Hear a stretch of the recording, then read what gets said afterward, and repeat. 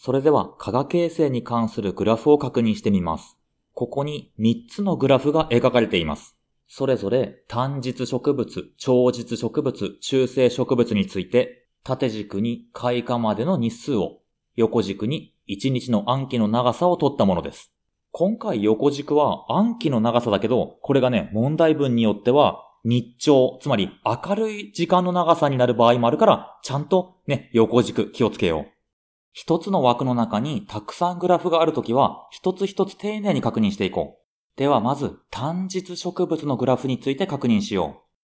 単日植物の大雑把なイメージは、単日、日が短い、つまり夜が長い、夜が長い、暗記が長い時に加賀を形成するっていうイメージだ。では具体的にグラフの中身を見ていこう。暗記の長さが y 時間よりも長い時は加賀を形成していますね。暗記の長さが y 時間よりも長い時は、x 日で開花するってグラフから読み取れるもんね。開花したってことは、加賀が形成されていたってことだ。確かに単日植物、暗記が長くなると、加賀が形成されている。では次に、暗記が y 時間よりも短い時のことを考えよう。なんだか y 時間より短い時はもうグラフがないよね。y 時間のところでグラフが上に跳ね上がっちゃってるよね。え、じゃあ何 ?y 時間よりも暗記が短くなると、え、開花まで100日 ?200 日 ?300 日かかっちゃうのかなって、もうこれはね、加賀形成していないって考えるんだ。y 時間よりも暗記が短い時は加賀形成していない、開花しないって考える。すなわち、この y 時間がこの単日植物の限界暗記だったんだね。単日植物では暗記が限界暗記よりも長くなると加賀が形成されるんでした。今度は超実植物のグラフを見てみよう。なんとなくさっきと逆になってるよね。暗記が W 時間よりも短くなると加賀が形成されて開花している。だいたい Z 日後に開花しているね。次に W 時間のところを見てみよう。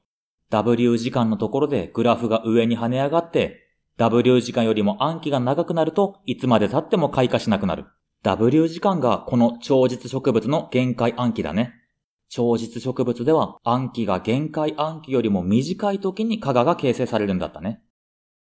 最後に中性植物のグラフを見てみよう。中性植物は日照に関係なく加賀が形成される植物です。したがってグラフはこんなグラフになります。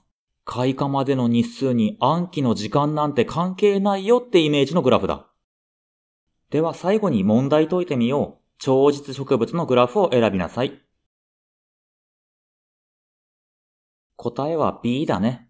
超実ってことは、ね、日が長いってことは夜が短い。暗記が短くなると加賀形成しているグラフを選べばいいね。